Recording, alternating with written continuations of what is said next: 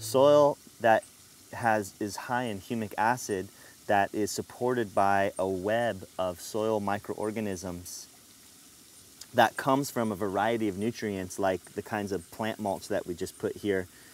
This kind of soil retains moisture better than any other soil on earth. The nutrients are accessible to the plants, completely accessible. That allows for plant life to have a stronger immune system, to produce much higher yields, to, to uh, need much less water for irrigation in the drought times.